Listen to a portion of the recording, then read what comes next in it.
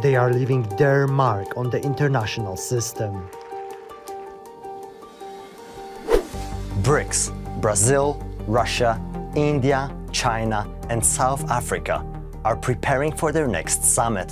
Since Russia's invasion of Ukraine, BRICS actually gained a second momentum. Now there are calls for the group to grow. We should start discussions around BRICS expansion. But what exactly is BRICS and what does it want?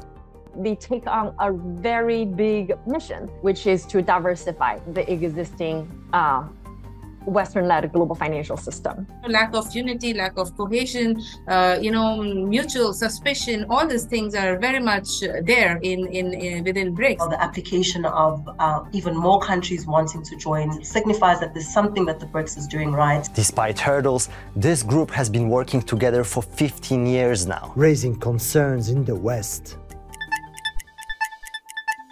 Ironically, the seeds for BRICS were sown at a US investment bank. In 2001, an economist at Goldman Sachs pointed out the fast growth rates in Brazil, Russia, India and China, coining the acronym BRIC. Even though their economies have slowed down since, these countries took the idea and ran with it. What they created is not an international organization, but a platform for cooperation and exchange between the governments. In this way, it's similar to G7, the group of the most developed countries. BRIC leaders gathered for the first time in 2009, shortly after the start of the global financial crisis. South Africa joined two years later, adding the S to BRICS.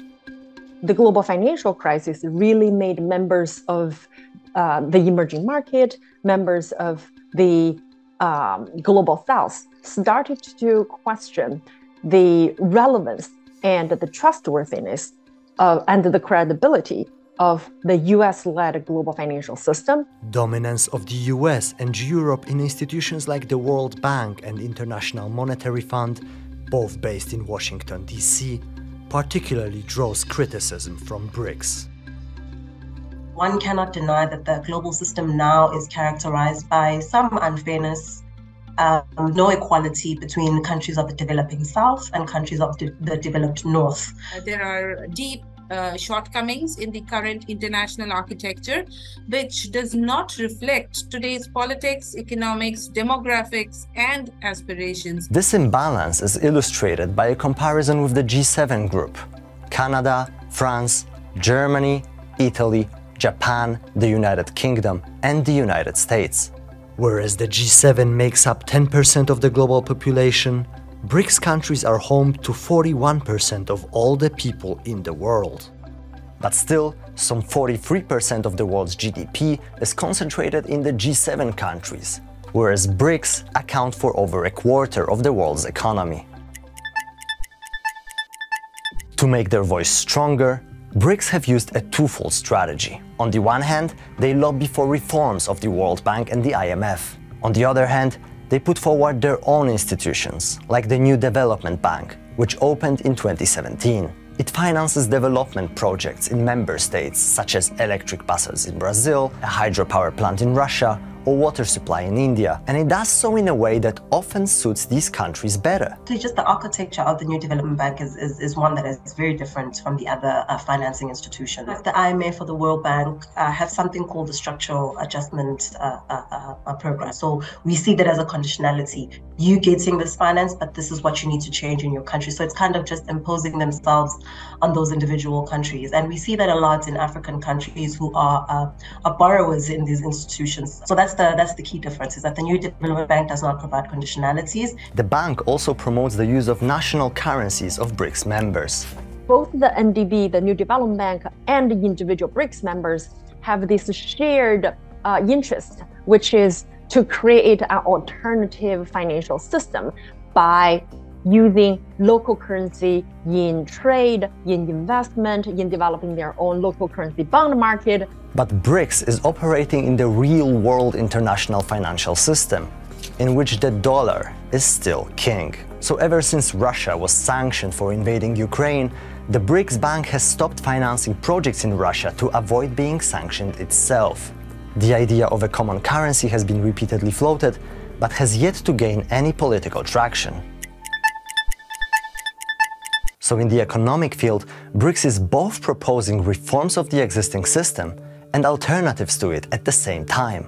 Can this approach work in the political area as well? Despite setbacks, BRICS members have stuck together even after Russia attacked Ukraine. Most notably, China, India, and South Africa abstained from condemning Russia in the United Nations. But the fact that BRICS consists of five very different countries with often diverging interests limits the scope of their political cooperation. BRICS is not uh, a formal alliance. So it's not the same as NATO, it's not the same as a formal alliance to the same extent as a security pact. Rather, it is an informal partnership. The idea is that members can share the BRICS platform to talk about certain issues of their shared interests, but and every country have a veto power. And in areas where they do not have mutual interest or where there are divergences, they actually then revert back to their national interests and national approaches. This has particularly been the case between India and China in recent years. Border skirmishes, like this one, have put the two most populous nations on earth at loggerheads. They kept meeting at BRICS summits, but slowed down each other's ideas.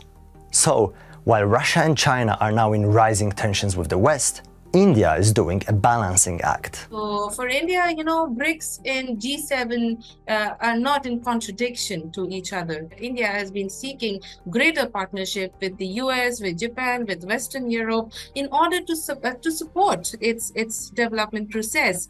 Um, and, you know, India believes that these countries, uh, you know, might, may be in relative decline, but they still remain the key source of capital, technology, markets, you know, on which India, uh, uh, on on which India can depend on, on where it can seek access to. An issue that shows different priorities among BRICS members is a possible expansion of the group. South Africa said over 40 countries have expressed interest in joining it.